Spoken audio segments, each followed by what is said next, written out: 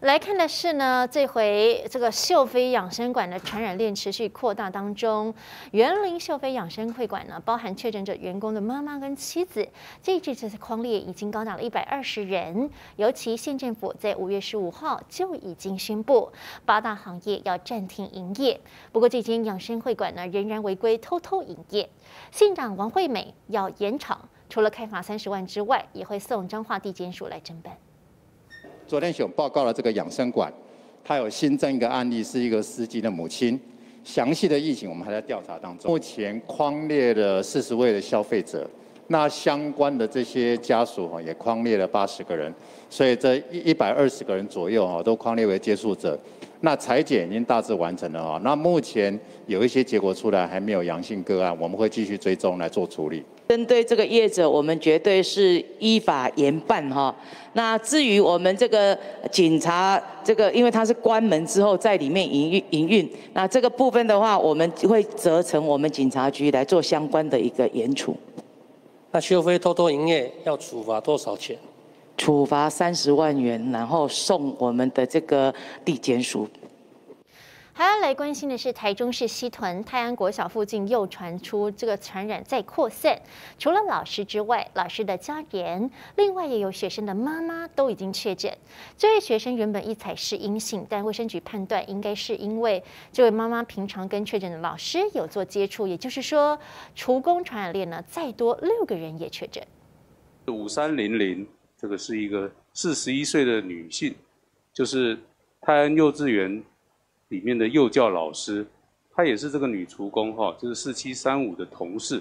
那五月十九号学校停课之后呢，她后来就隔天开始有发烧的症状，然后就曾经到诊所就医。那因为五月二十三号，她被四七三五框列为接触者，就进行裁剪，然后就确诊阳性。五四四四就是十一岁的女童，就是这次泰安国小五年级的学生，啊，那她本身她妈妈也是后来确诊的一个阳性个案，但是还没有这个由中央来给她一个这个编号哈。那她是母亲先有临床症状，她本身是没有症状。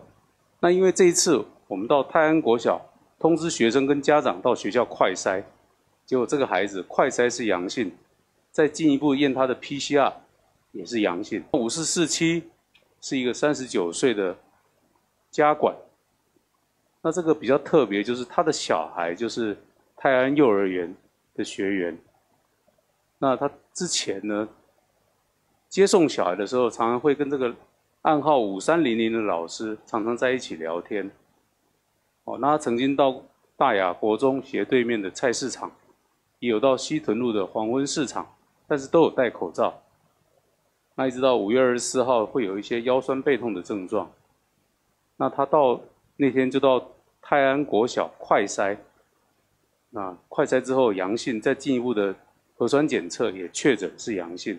首先，我们第一个发现的是四七三五这个女性的厨工，她也是泰安国小里面的员工之一哈。这是厨工，然后她把这个病毒呢。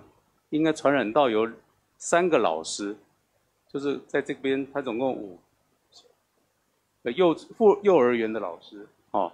那幼儿园的老师呢，有两个昨天才确诊，所以目前还没有领到确，还没有安安排到他的号码哈。中央还没有给号码。好，那我们到这边来看哈。那这边有一个泰安国小的老师，他的小女女儿小五的学生也确诊。哦，那确诊的时候，我们马上就全班同学都给他做快筛，结果都是阴性的。